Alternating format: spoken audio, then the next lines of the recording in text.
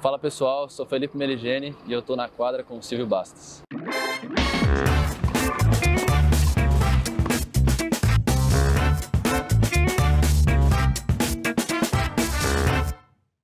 Bom, hoje aqui o terceiro Meligene do canal. É, primeiro, na verdade, o primeiro programa de todos, lá atrás, dois anos atrás, com o Fino. Ano passado a Carol e agora faltava o Felipe. Felipe, bem-vindo, prazer. É, vamos falar rápido aqui porque você tem compromisso. Muito obrigado. É, bom, vamos lá. Eu imagino, acho que todo mundo imagina, né, como é que começa. É, você tem pai e mãe que trabalham com tênis, um tio que jogou o que jogou, você veio depois da Carol, mas foi natural? Uma raquete na sua mão? Bom, é, eu realmente cresci com uma raquete na mão. É, desde pequenininho, eu e minha irmã, a gente ficava nos carrinhos de bola dos meus pais quando eles davam aula lá na, na Meligene Sports. Então, é, foi meio difícil fugir disso. É, desde pequeno, a gente vivendo esse ambiente de tênis. É, indo para os torneios do meu tio, mesmo muito bebês. Então, acho que eu, eu, e a Carol começamos com 5 anos. Ela começou... Uhum com cinco e eu Você fui... não chegou a jogar Copa Fino? Não deu tempo? Copa... Acho que eu não joguei. É, eu fui só para só pra assistir. Uhum. Acabei não jogando. É... Ah, mas eu fui logo em seguida da minha irmã, quando a gente, quando a gente jogava no tênis clube de Campinas. É... A minha irmã começou a fazer aula com o André Cervelati e eu fazia todos os esportes e no final acabei pegando uma paixão pelo tênis, comecei a brincar com o tênis. Com cinco anos, minha mãe fez eu escolher o que, que eu queria fazer mais. Eu comecei a fazer mais tênis, tudo mais.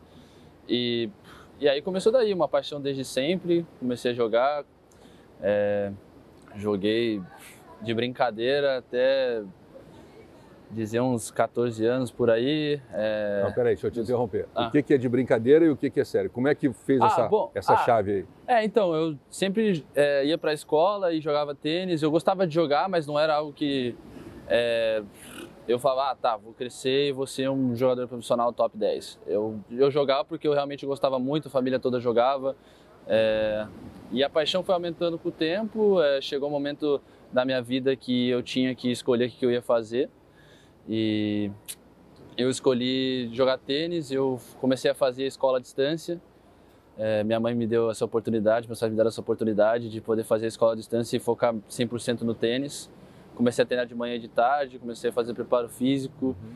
e a partir daí eu vi que era o que realmente eu queria, queria jogar, queria viajar ao mundo uhum. e tentar ser o melhor tenista que eu posso ser e e foi indo, comecei a jogar paulista, comecei a jogar brasileiro, depois comecei a jogar ITFs e estamos aí até hoje no profissional. É, eu não lembro muito você no juvenil, ali uhum. em épocas ali, quando você estava, pela idade que você tem, foi quando eu começo a trabalhar na televisão e paro de treinar os moleques, então eu não, não acompanhei. Uhum. Mas a sua bola sempre andou muito no juvenil, porque eu, hoje, para mim, você tem uma bola, ela sai muito rápido da tua raquete. Uhum. Rápido tanto que às vezes até você perde um pouco do controle, uhum. que é uhum.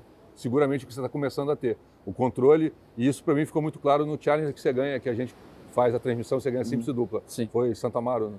Foi, foi, no Hípico de Santa Amaro. Hípico de Santa Amaro. É. É, foi dezembro do ano retrasado. É, eu comento ali aquele torneio, foi o último, na verdade, o último torneio da Fox, e aí depois eu troco para a ESPN. E ali, né, tanto na Simples, é, tanto na dupla no sábado, depois você ganha a final no domingo de Simples, é, fica muito claro o quanto você estava começando a entender a velocidade da sua bola para ter o controle sobre ela. E você começou a entender ali para mim.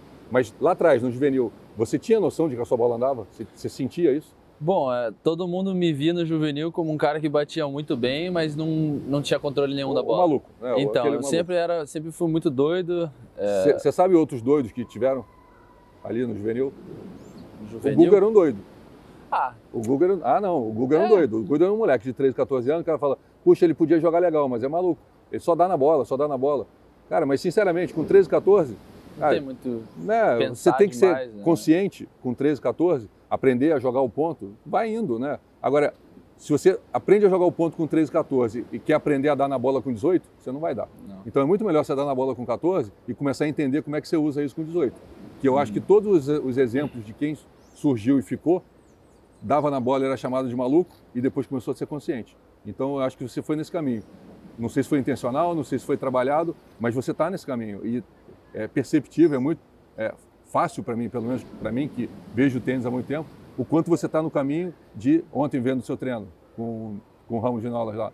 Dá para ver o quanto a tua bola ainda anda e você não perdeu a velocidade dela, apesar de estar tendo controle sobre ela. Uhum. E isso é genial para mim que, que vejo o tênis há muito tempo. Sim, foi uma coisa que tive que trabalhar com o tempo. Sempre fui muito descontrolado. Às vezes a bola voltava e eu queria bater mais forte uhum. cada vez e a tentação é grande. É, né? com certeza. E vai funilando e você tem e você percebe que não é só bater na bola hoje em dia. Todo mundo bate bem, então você tem que usar um pouco mais a cabeça, saber a hora de acelerar mais, saber a hora de acelerar menos. E eu venho trabalhando isso muito bem. Hoje em dia eu tenho bastante controle do que eu estou fazendo e isso me ajuda muito nos jogos. É, na parte mental, né, como é que você trabalha? É, porque não adianta você ir para a quadra e treinar paciência, trabalhar paciência, né? Porque você pode perder essa paciência a qualquer momento com um fator externo, com alguém que, sei lá, um bobo da arquibancada. Como é que você tenta fazer esse lado mental para você aprender a se controlar para fazer aquilo que você treina diariamente? É, eu, eu tava fazendo um trabalho com um psicólogo, um argentino, depois que eu, eu mudei faz uns quatro, um, não, seis meses para Argentina, uns uhum. cinco, seis meses para Argentina. Comecei a trabalhar com um psicólogo lá. É, agora a gente acabou separando, que eu decidi, optei por separar e agora estou em busca de, de outro, mas é, me ajudou muito nesse lado. Eu sempre fui um cara com pouquíssima paciência. É... é... eu tenho uma teoria, né? Que aquilo que a gente é dentro da quadra, a gente é literalmente fora. Ah. Né? Então, alguém que seja ansioso ou não tenha paciência, dentro da quadra ele vai querer acabar o ponto na primeira e segunda bola. Com certeza. E aquele cara que fica. Mas eu acho muito melhor o ansioso e impaciente, que ganha com maturidade isso, adquire isso, uhum. do que você inverter. Do que você fazer com aquele cara que fica passando, tranquilo, esperando, esperando. Cara, se você esperar, você não vai. Você vai ganhar 12 você vai mais ou menos ganhar 14. 16 você não ganha, 18 você esquece. Né? É, que hoje em então dia, é muito melhor o contrário. Hoje em dia você vê muitos meninos que jogavam naquela época, pelo menos na minha época, jogavam muito bem, 14, 16 anos, que, pô, era mais passador de bola, eu que uhum. era mais porra louca, que ia batendo não, e tal. É. Hoje em dia não foram e a maioria que batia bastante e aprendeu a controlar isso, hoje em dia tá jogando muito bem tênis. Então acho que isso é um ponto positivo, para mim é um ponto positivo e eu venho melhorando cada vez mais, então acho que pode ser muito bom para mim.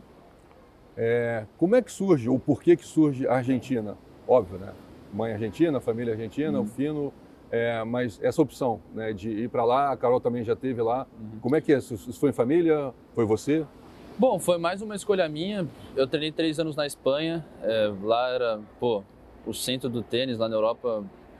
Todo mundo muito profissional. Aprendi bastante lá e na América do Sul, para mim, o lugar mais parecido que tinha com a Europa era a Argentina o jeito que eles levam o tênis. Tenisticamente, sem dúvida. É, o profissionalismo, todo, todo mundo é muito sério, então acho que eu precisava muito disso no, no meu tênis. É, o Blendino, estou tra trabalhando uhum. com o Fábio Blendino e com o César Tiapari, um outro treinador. É, o Blendino treinava o Monteiro, é, sempre convivi bastante com ele no circuito e o Monteiro sempre me comentou que ele gostava bastante do meu jeito de jogar e coisas que eu tinha que uhum. melhorar e tudo mais. E depois que eles se separaram, é, Monteiro falou comigo e eu entrei em contato com ele, falando que tinha muita vontade de trabalhar com ele, que era um cara que eu gostava muito, que sei que poderia, que pode me ajudar uhum. no meu tênis e me, me ajudar como pessoa também. É, e é um cara da geração do teu tio, né? É. Um cara que jogou junto, isso também ajuda, porque o, é, o Fino jogou muito ali, enfim, eu acho que tudo isso é, fecha ali o, o, o casamento para você chegar no teu objetivo. Sim. É, se você puder acho que fazer um comparativo não, não, não seria legal. Mas, por exemplo, é, o que, que acontece na Argentina, na parte sua da base de treinamento, que você talvez aqui no Brasil você não veja que aconteça? Se você puder fazer uma, uma diferença. Eu sinto falta muito, não, não companheirismo, mas é, da união da galera lá. Eles são estão sempre tentando ajudar um ao é outro. Impressionante como todo mundo bate nessa mesma é, tecla. Né? É que é, é o diferencial para mim. A impressão que dá é que é todo mundo de mão dada. Aqui é, fica todo mundo assim. É, né? aqui hoje em dia você vê treinadores, é, temos muitos treinadores bons, mas que tem medo do jogador treinar uma vez na, na perder o jogador, de perder né? o jogador para outro, sendo que nem é esse o objetivo às vezes, não, o objetivo não, é só somar. É troca, né? É troca. Então, lá fora a troca é muito boa. A gente tá sempre, eu tô sempre com um jogador diferente, jogando com outro uhum. cara e todo mundo fazendo comentário, conversando, uhum. ah, como é que ele tá? Não, ele tá bem. A sensação que eu tenho é que não tem ego, né? Não, não, não, lá todo mundo tá tentando se ajudar. Você tá, eu te ajudo. Aí você, sei lá, você treina com um cara, mas o cara fala, pô, você não acha que se ele puxar um pouquinho aqui a mão esquerda, uhum. pô, não, legal, obrigado. E aí você vai lá no almoço, você comenta, ah, eu vi o jogo do teu jogador ontem, Cara, aquele saque aberto que ele deu no 30-15, pô, se ele sacasse fechado aqui, sabe? É, é, eu, eu, sinto muito isso. Eu, hoje eu não viajo mais, Mas eu sentia isso muito com os argentinos. É, de, eles estão sempre juntos. Os brasileiros você vai, é, espalha, né? Você vai é para cá, muito, vai cá. É complicado, parece que não, não que torce contra, mas também não tá, não tá junto o tempo uhum. inteiro, não tá torcendo. Quando você está jogando, você vê um ou outro.